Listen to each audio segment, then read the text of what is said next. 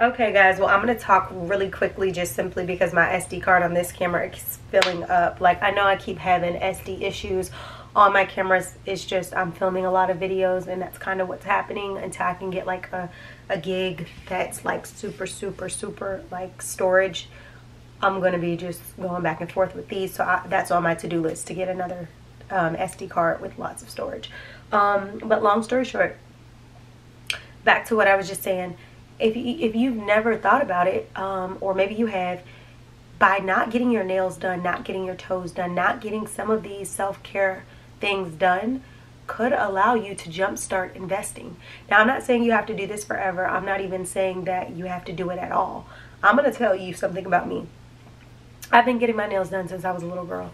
Since I was allowed to get my nails done. Like, whenever I became the age to be able to get my nails done, that's when I got my nails done, and all the way up until adulthood. Um, so I decided when I get my nails done, I'm just going to give you a breakdown of what I pay for my nails and my toes so you guys could be, um, hold on.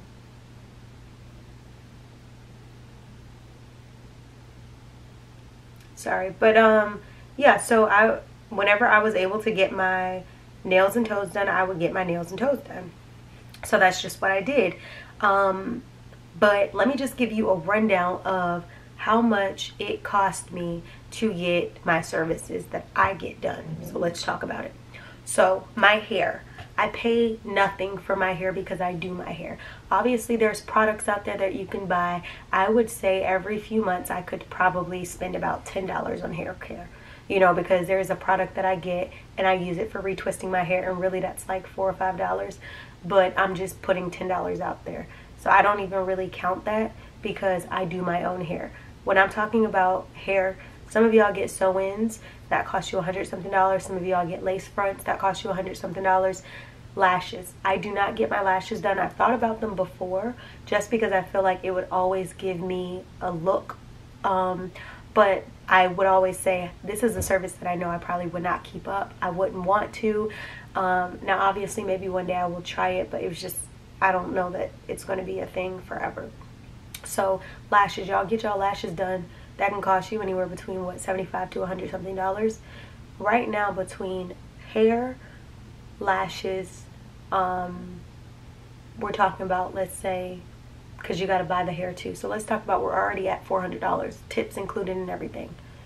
When it gets down to your nails, y'all get a lot of fancy. Not everybody, but a lot of people get all that fancy design. It's 60 something dollars then they end up getting their toes done. That's $60, $120 easy, right? Let's just say tips got thrown in there as well, 150 Now we're looking at $550 that you've probably spent between hair, lashes, um, nails, toes, right?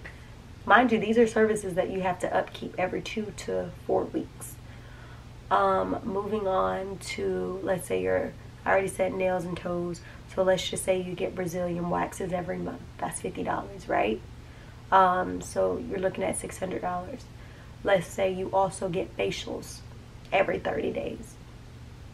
The minimum is going to be 50 Then you're going to have like add-ons. So you probably spend, what, 100 That's about $700. Then, let's say, mm, I need a massage. I need like a quick 30 minute. Okay, 30 minutes, $30. So let's say we're at about 7, we're at 7.30 now. And oh, um, I need to get my eyebrows done say between the massage and the eyebrows you spend basically $20 because you got to pay 10 for the brows and then so now you're looking at about $750 then you say oh I've paid my bills but I don't have any money left over but when you think about it you spent 750 to $800 on looking like maintenance I decided because let me tell you what I spend when it comes down to my brows my brows are $10 they've upped the price since COVID it used to be 6 or 7 when it comes to my nails, I normally get SNS dip powder. They were 35 at one point. They're now 40 after COVID. And I normally tip $5. So that's $45 right there. Um, when it comes to my pedicures, I don't get a regular pedicure. I spend 35 on my pedicure because I get gel. Gel, okay, a lot of cops. Gel lasts me a month or so. So to me, it's worth the investment. If I'm going to spend $25 for no gel that can chip in the same day, I might as well spend 10 more dollars so that it doesn't chip. And then I pay $5 in tips. So that's $40 on the toes. That's $40 on the nails. Well, let's just say with the tips added, that not tips like tips on my toes, but me tipping a person. So that's 40 plus 45, that's $85 plus my eyebrows. That's $95. It sounds like the police was right here, but they're not right there. So that's like 95 to 100. That's 100 bucks, right? I spend 100, that's probably it. Other women probably spend about 800 to a grand on maintenance. I think my little $100 is not that bad. However, just think about how I stopped doing my nails and my, well, I still get my toes done, but I just took a quick little nail break to let my nails breathe. I've been painting my nails. They look fine when I paint them. And I've been able to take that extra $100, $75 that I was spending and invest it. So in my investment accounts, I can have a stocks and bonds account where I'm putting 25, 25 each month and a money market account where I'm putting $50 that way I'm building up an investment account for, you know, a money market account maybe for when I actually need the funds or whenever I want to cash out on the funds, but I'm investing. So when you say you don't have money, it's not that you don't have money. It's you're not willing to sacrifice certain self-care aspects to be able to invest. Now, some people they get those amenities and they don't have to sacrifice. But for me, when I actually sacrifice, it makes me feel as though as I become more successful, I'm going to be better at managing my success.